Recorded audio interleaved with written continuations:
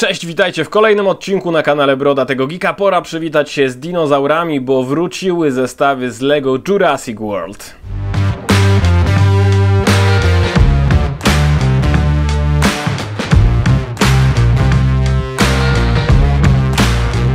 Na początek ucieczka tyranozaura 140 elementów za aż 240 zł. No ale po pierwsze to jest zestaw z serii 4, a po drugie mamy tutaj dinozaura i to nie byle jakiego, bo tytułowego tyranozaura. Któż nie chciałby mieć tego króla dinozaurów, tej ikony popkultury, która drzemie w skórze tego potwora? No według mnie to jest akurat bardzo fajny pomysł, żeby do zestawu 4 plusowego wrzucić właśnie Tyrka z tego względu, że nie trzeba później przepłacać za niego na rynku wtórnym jako oddzielny element. No ale żeby się przekonać, czy cały zestaw poza samym tyranozaurem jest wart uwagi, przejdźmy na stół i zobaczmy, co kryje w sobie pudełko.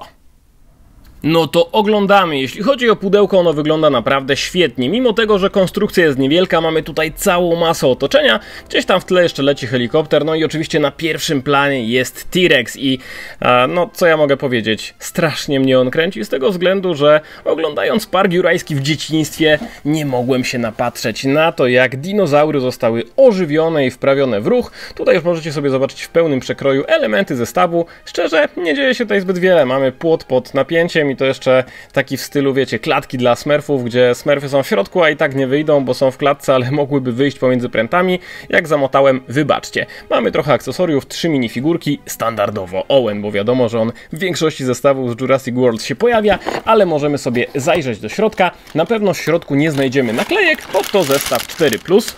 Ojej, co tu się stało z tym helikopterem? On chyba wrócił z Wietnamu. No dobra, co do instrukcji, te są aż trzy. E, ok, można sobie budować po prostu wspólnie, w trzy osoby na przykład. Tutaj składamy to stoisko do stoisko, czy też właściwie wieżę do lądowania e, helikoptera. Tutaj mamy ten taki niewielki samochodzik, składamy również T-Rexa i figurkę Owena, a tutaj składamy fragment płotu z tymi lampkami ostrzegawczymi oraz to ogrodzenie pod napięciem wraz z jakąś taką strażnicą.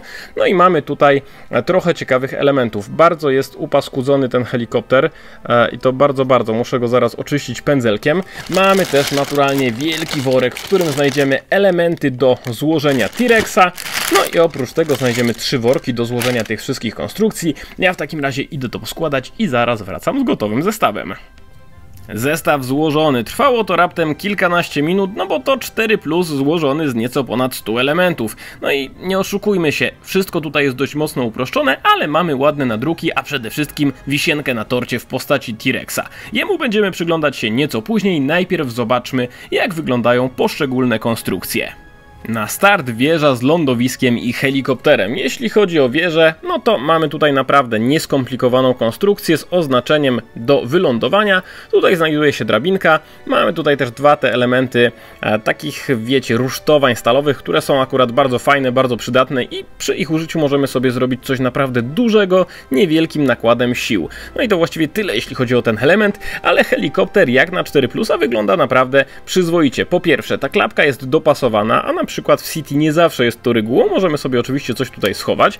Mamy takie dwa ładne, okrągłe tile 2x2, na którym możecie zobaczyć naprawdę ciekawe oznaczenie. Z tej strony znalazła się lampa, może śmigła są nieco za małe, a jeśli chodzi o szybkę, ona akurat tutaj jest bardzo średnio spasowana, z tego względu, że nachodzi na ten komputer pokładowy, który prezentuje się tak. To jest po prostu skos z nadrukowanymi zegarami, ale szczerze mówiąc, jak na uproszczony 4-plusowy helikopter daje to radę.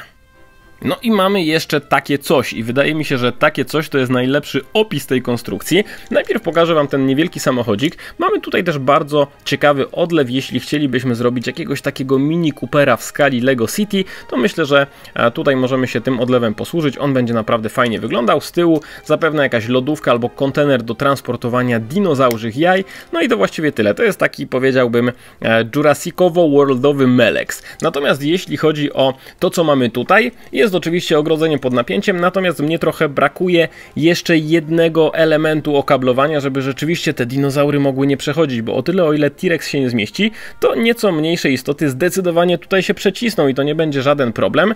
No ale dostajemy też elementy z nadrukami. Po pierwsze, mamy takiego tila 2 na 2 z oznaczeniem wysokiego napięcia, a tutaj kolejny okrągły tile, który pojawił się już na helikopterze. No jeśli chodzi o tę część, możemy sobie oczywiście tutaj za pomocą T-Rexa obalać te elementy ogrodzenia, które są takie same, obydwa, a tutaj mamy jakąś taką wieżę, na górze znalazła się antena, jest krótkofalówka, tutaj jeszcze fragment zieleni, no wiem, to jest tylko po prostu jeden bambus, mamy tutaj też kurczaka, który pewnie jest przynętą na tyranozaura, no i tutaj brakuje mi jakiegokolwiek komputera, czegokolwiek, jakiegoś wyposażenia, które mogłoby się w tych budynkach, gdzie poruszają się pracownicy tego e, parku natury, e, po prostu znaleźć, no ale niestety ich nie ma i zwróćcie uwagę też na to, że jeśli ja biorę tutaj tyranozaura, a tu tutaj byłby pracownik, niech to będzie taki klon, no to wtedy tyranozaur robi tak i nie ma pracownika, więc trochę to jest za niskie i jeśli dzieciaki będą się bawiły w ten sposób, to ja wcale się nie zdziwię.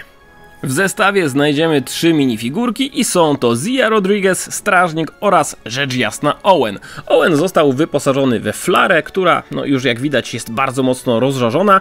Ma taki fajnie połączony z nóżkami torsik i tutaj ten nadruk jest przeciągnięty, to zdecydowanie na plus. No i posiada też alternatywny nadruk na buźce. E, tak samo to wygląda w przypadku Zii, która również ma drugą wersję główki, aczkolwiek ona w tym momencie jako minifigurka kojarzy mi się z Moniką z przyjaciół.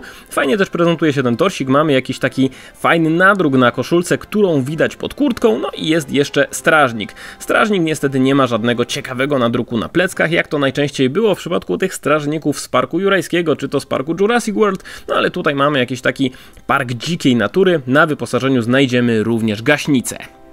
No ale umówmy się, to na niego wszyscy czekaliście na T-Rexa w takim ubarwieniu, jakiego ja jeszcze nie mam. Czy on się pojawiał wcześniej w takim kolorze? Niestety nie wiem, dlatego że do tej pory miałem tylko jednego T-Rexa. Stwierdziłem, że kolejnych kupować nie będę, ale ten wydawał mi się naprawdę bardzo ładny, no i już go mam. I bardzo się cieszę, bo dzięki temu mam już dwa różne tyranozaury. Standardowo tutaj odlew się nie zmienił, zmieniło się umaszczenie w stosunku do tego, którego ja posiadam. No i jeśli chodzi oczywiście o możliwości ruszania tym gazem, no to mamy takie opcje. Jest ruchoma żuchwa, głowa może się pochylać i odchylać, może też się obracać. No teraz to trzeba było chyba wołać egzorcystę, gdyby tyranozaur tak wyglądał na co dzień. Mamy też rzecz jasna ruchome przednie kończyny, takie niezbyt duże. Możemy też ruszać sobie oczywiście tymi potężnymi tylnymi łapami, no ale tak już e, on nie będzie stał, bo nawet ogon aż tak mocno się nie obróci. I rzecz jasna mamy też obracany ogon. W tym miejscu tutaj mamy tylko takie lekko gumowane zakończenie ogona, żeby też nie zrobić sobie krzywdy, a na plecach znalazło się miejsce na 8 studów, więc jak ktoś ma taki pomysł i fantazję, żeby sobie zrobić do tego jakąś lektykę, którą można tutaj zamontować, żeby jakieś dzikie plemię jeździło na plecach tego stwora, to zdecydowanie będzie to dobry pomysł. Ja wiem, że nie każdy jest fanem zestawów 4-plusowych, ale nad tym warto się pochylić. Przede wszystkim ze względu na T-Rexa, no ale kto by nie chciał dostać tej potężnej gadziny w naprawdę przyzwoitej cenie. Najczęściej było tak, że tyranozaur pojawił się w zestawach dość drogich, no a tutaj mamy zestaw z takiej powiedziałbym średniej półki cenowej, no a T-Rex z piechotą nie chodzi. To znaczy chodzi, ale nie jako okazja cenowa, więc naprawdę warto taką opcję rozważyć. Ja się cieszę, że udało mi się go dorwać z tego 4-plusowego zestawu, a wy dawajcie znać, czy w waszych zbiorach T-Rex już występuje, bo jeśli nie, to chyba wiecie co robić. Na dzisiaj to tyle, dzięki, cześć!